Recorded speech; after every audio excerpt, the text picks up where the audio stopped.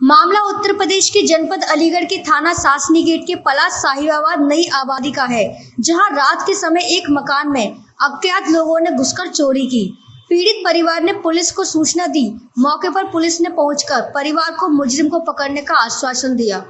नमस्कार प्रदेश समाचार में आपका बहुत स्वागत है। मैं कुलदीप कुमार आप मैं इस समय उपस्थित हूँ कबीर नगर में जहाँ पर एक मकान में चोरी हुई है अज्ञात लोगों ने चोरी की है। आइए जानते हैं परिवार वालों से आखिर क्या मामला है पूरा? क्या नाम है आपका? ब्रजेश। क्या हुआ है? रात सर मैं रात को ढाई बजे जगा था।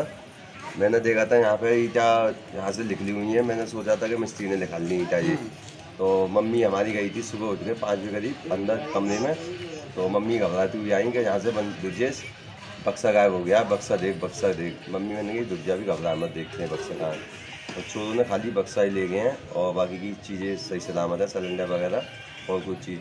क्या क्या क्या क्या सामान गायब हुआ? है उस बक्से में से केवल पैसे थे दो ढाई हज़ार रुपये थे। और मकान के कागज़ वगैरह थे वो भी मिल गए हैं।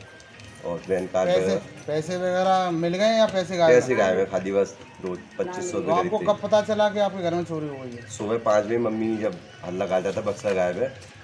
जब मालूम पड़ा था हाँ तो आपने फिर सौ नंबर पर कॉल किया? हाँ हम गए थे मामा जी गए थे हमारी चौकी पे जब सौ नंबर आई है। अच्छा उन्होंने अच्छा वीडियो वगैरह बनाई है बक्सा हमारा यहाँ पड़ा हुआ पाया था। चीज़ साड़ी वगैरह और जो कपड़े लत्ते वगैरह हैं वो अलग अलग पड़े थे कागज़ वगैरह अलग पड़े हुए थे। और पेन के कागज़ अलग पाए हैं हमें मकान के और पेन के अलग पाया है दूर जाके सब कागज़ वगैरह अलग अलग पाए थे।